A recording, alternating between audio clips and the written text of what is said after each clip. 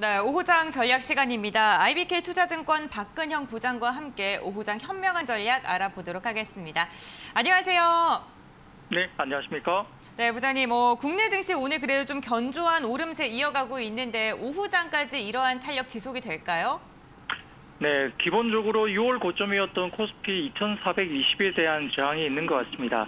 외국인들이 코스피 200 중심으로 1,400억 정도 사고 있는데 순매수 가운데 가장 높은 그 금액은 결국 삼성전자에 집중되고 있고 그 외에 낙폭과대 성장주로 이야기했던 네이버 정도가 지금 이야기되고 있는데요. 아마 이게 좀 편향적인 어떤 집중적인 수급이 일단 제한적이기 때문에 예, 전반적인 시장의 상승세는 조금 어, 느 정도 제한적일 가능성이 높습니다. 여기에 따라서 시장에 대한 분위기는 아직까지 좀 지켜볼 필요가 있겠고 어, 거래 대금이라든지 그 다음에 원 달러, 달러 인덱스 관련된 부분들이 하향으로 좀 안정이 되는지 오늘 저녁에 ECB 관련된 부분들을 좀 지켜볼 필요는 있겠습니다. 네, 알겠습니다. 아무래도 지금 박스권 행보가 지속적으로 일어나다 보니까 매물대에 대한 부담감은 있는 것 같습니다. 어, 그렇다면 우리 국내 증시에서 좀 눈여겨볼 만한 섹터가 있다면 어떠한 섹터를 오늘은 좀 관심 있게 보면 좋을까요? 네, 금일 같은 경우는 지금 IT 가운데서 휴대폰 부품 쪽이 괜찮을 것 같습니다. 이 6월 중국의 스마트폰 출하량이 어, 전체적으로 2,750만 대 정도 수준으로서 어, 전년비 99.1% 증가 그리고 전월 대비로도 33.7% 증가하면서 6월 달에 일단 최초로 일단 상승세로 돌아섰습니다. 그 전년비 플러스 전환은 올해 들어서 최초인 것 같은데요. 상반기 누적 출하량은 1억 3,600만 대 정도 수준인데 시장 재고량이 상당히 많았고 코로나19로 인한 어떤 공급에 대한 수요 차질이 발생하면서 이중고를 겪었습니다만 중국의 봉쇄 해제를 통해서 전반적인 스마트폰의 산업의 정상화가 이루어지고 있는 상황입니다. 스마트폰이 컨슈머 세트 중에 가장 빠르게 개선되고 있는데 실제 중국에서 지금 PC라든지 다른 어떤 IT 가전은 상당히 많이 2년 동안 판매됐지만 그 중에서 스마트폰 관련해서는 실질적으로 많이 팔리지 못했습니다. 어, 여기에 따라서 consumer 세트 가운데 지금 빠르게 개선되고 있는 것이 IT 쪽이라 볼 수 있는데 그 중에서 스마트폰이라 볼 수 있는데요. 특히 이제 중국의 로컬 업체는 상당히 좀 어려운 국면에 처해 있지만 예, 아이폰 관련된 수요가 상당히 급증하면서 전반적인 어, 중국의 로컬 3사가 판매한 금액의 절반 정도가 아이폰이 팔렸다 보시면 됩니다.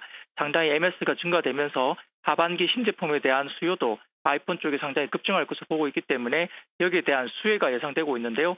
결국 아이폰 관련된 수혜로서 어, 중국 쪽에 IT가 많이 팔린다고 한다면 최근에 또 많이 팔려 많이 이제 주가 빠졌던 삼성 전기가 눈에 띌 수 있겠고 아이폰 수혜주로서는 LG 이노텍과 BH 그리고 중국 로컬 업체들은 아이폰의 지금 여러 가지 부분에서 어려워지면서 다소 좀 AR이나 XR 기기 정도 된 어떤 다른 쪽으로 또한 foldable 쪽으로 좀 더 집중할 가능성이 높다는 점에서는 중장기 그림에서 foldable 관련된 수혜주로서 부품주들을 볼 필요는 있겠습니다. 네, 경기 침체로 인해서 스마트폰 빙하기에 대한 우려가 나오곤 있긴 합니다만 중국 시장에서 아이폰의 수요가 좀 견조하다라고 이야기를 해주셨는데 어, 다양한 종목 말씀해 주셨어요. LG이노텍, 삼성전기 등등 아이폰과 연관되어 있는 종목들 중에 그렇다면 어떠한 종목을 좀 집중적으로 바라보고 계신지요?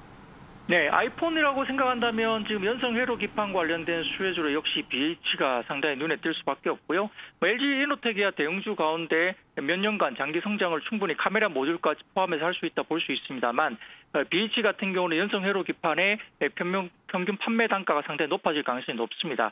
아이폰 관련해서는 지금 새로운 신제품 관련해서 중국의 유통 재고사들이 대부분 다 지금 웃돈을 주고 역대 최대급 웃돈을 주면서 어, 재고 축적을 하기 위한 움직임이 있다고 알려지고 있기 때문에 여기에 대한 아이폰 새로운 신규 라인에 대한 수급이 이루어지면서 BH 정도가 지금 PR 6배 정도까지 내려온 상태에서는 나쁘지 않은 수급으로 볼 수 있겠고요. 전체적으로 중소형주 가운데 BH 그리고 대형사 같은 경우는 중국의 스마트폰 시장이 성장을 한다면 아이폰과 상관은 없지만 삼성 전기를 좀 눈여겨볼 필요는 있겠습니다.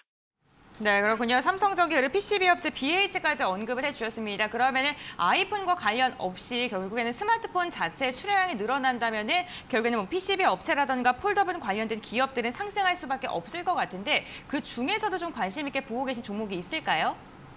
뭐 전체적으로 지금 종목과 관련된 부분들은 아까 말씀드렸던 뭐 IP 관련된 여러 가지 이야기가 될 수 있는데요.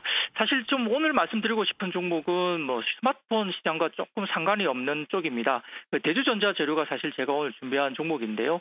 실질적으로 대주전자 재료는 지금 전장 산업과 관련된 실리콘 산화물까지 포함되고 있고 물론 중장기적으로 본다면은 어, 스마트폰 쪽에 실리콘 산화물도 들어갈 수밖에 없는 측면이라 상당히 성장성에 대한 부분은 좋게 볼 수 있습니다. 지금 실리콘 산화물 관련된 뭐 이, 이 부분에서 아마 기존의 3% 정도 산화물 첨가물이 8%까지 산화물이 올라올 것으로 예상되고 있고요. 거기에다가 본격적인 성장은 내년 3분기에 얼티엄 셀 2공장이 본격화되면서 아마 될 가능성이 높습니다. 캐파로 봐서는 지금 8만 톤까지 동사가 가능할 것을 보고 있어서 매출액은 어, 중장기적으로 3조 5천억까지의 캐파를 가지고 있다 볼 수 있습니다. 아마 실적 전망치 상향 조정이 지속적으로 이루어질 가능성이 높고요. 실리콘 산화물이 기존에 말씀드렸던 어, 2차 전지 쪽뿐만 아니라 아마 장기적으로는 스마트폰까지 실리콘 산화물이 들어갈 수 있다는 점 그리고 어, 전방 산업에서 실리콘 산화물 관련된 수요가 증가하는 어, 동시에 산화물 관련된 어떤 비중이 3%에서 8%까지 증가할 수밖에 없는 제도적인 입장 때문에 아마 중장기 성장을 충분히 구가할 수 있는 종목으로 볼 수 있겠습니다. 네, 알겠습니다. 뭐 스마트폰 관련해서 LG 이노텍이나 삼성전기 등등도 말씀을 해주셨습니다만 2차 전지 관련주 현재 엮이고 있는 대조전자 재료 앞으로는 또 스마트폰과 연관이 있을 수도 있다 가능성이 크다라고 언급을 해주셨습니다. 오늘 이렇게 5장 전략 알아봤고요. IBK 투자증권 박근영 부장과는 여기서 마무리하도록 하겠습니다. 도움 말씀 감사드립니다. 네, 감사합니다.